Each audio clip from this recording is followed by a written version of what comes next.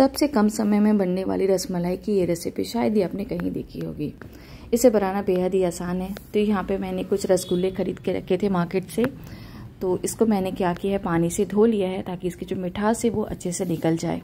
अभी मैंने इसको स्क्वीज़ कर लिया अच्छे से। और यहाँ पे मैंने लिए थोड़ी सी ठंडी वाली दूध।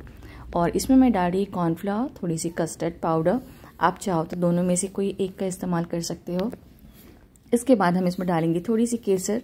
इससे बहुत अच्छी फ्लेवर आती है। अब इसको अच्छे से मिक्स करके साइड कर देते हैं। अब क्या करते हैं, यहाँ पे मैंने दूध को उबलने के लिए पहले से रखा हुआ था। अब इस उबले हुए दूध में मैं इस रसगुल्ले के डाल देती हूँ। तो क्या करेंगे, इसको पाँच मिनट तक और थोड़ी उबालेंगे।